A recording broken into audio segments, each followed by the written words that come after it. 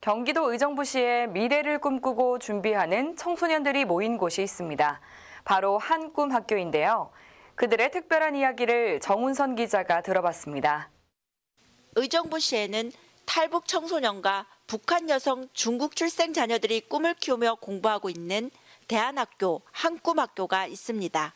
한꿈학교는 통일부 산하 하나재단이 선정한 우수 대안학교로 현재 15세부터 31세의 학생 43명이 출석하고 있습니다. 처음엔 탈북 청소년 대안학교였지만 탈북한 여성의 입국이 늘면서 그들의 중국 출생 자녀들도 함께 공부하고 있습니다.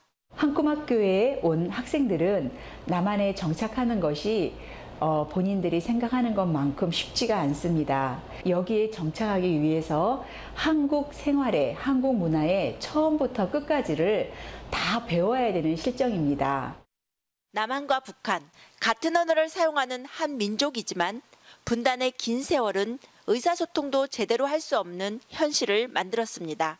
그래서 이곳 학생들은 소통을 위해 한글과 컴퓨터를 먼저 배웁니다. 대한민국에서는 자기가 열심히 하고 최선을 다하면 그에 대한 이런 그런 보답 같은 게 있잖아요. 간호사가 돼서 네, 어려운 사람들을 네, 이렇게 치료해주고 남을 많이 배려하면서 네, 그렇게 네, 살고 싶어요.